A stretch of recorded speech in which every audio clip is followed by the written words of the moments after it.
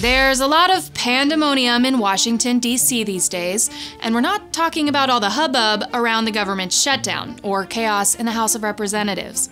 Last week, D.C.'s National Zoo celebrated its three giant pandas with a week long Panda Palooza.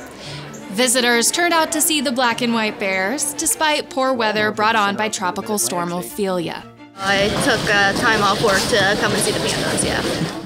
Mei Xiang, Tian Tian, and their cub Xiao Qi Ji will return to China in December. It's so sad that they are all going to be leaving at the same time, and the fact that the Chinese won't aren't negotiating with us to replace them.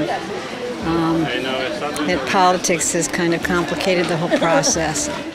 China has a long history of what's dubbed panda diplomacy. Pandas are only native to central China, but that nation has loaned many of the critters to other countries, usually following a trade deal. But recently, China has begun pulling its panda program from Western nations as panda loan arrangements expire. Many see it as a reflection of political tensions between the communist country and the West. The Atlanta Zoo still has a few bears, but when that loan ends late next year, the only pandas left in the US might be the stuffed kind. The black and white bears first came to America 51 years ago. First Lady Pat Nixon welcomed a pair of pandas in 1972, a gift from China in exchange for two oxen. Panda diplomacy is an example of soft power, which sounds like an oxymoron or contradictory.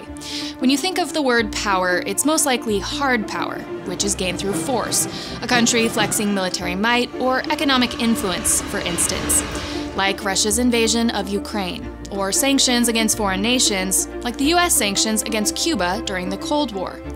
Soft power is more about persuasion and building a good reputation a national brand, if you will.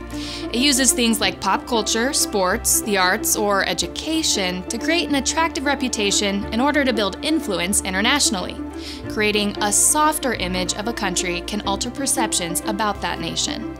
And sure, when you look at a panda, it's hard not to think, aw, how cute and cuddly.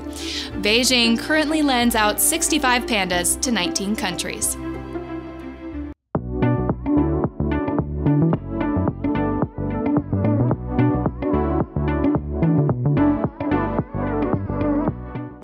If you like that story, well, you should like and subscribe below. You know what? As a matter of fact, why don't you check out today's full show for free? Just go to worldwatch.news forward slash free video.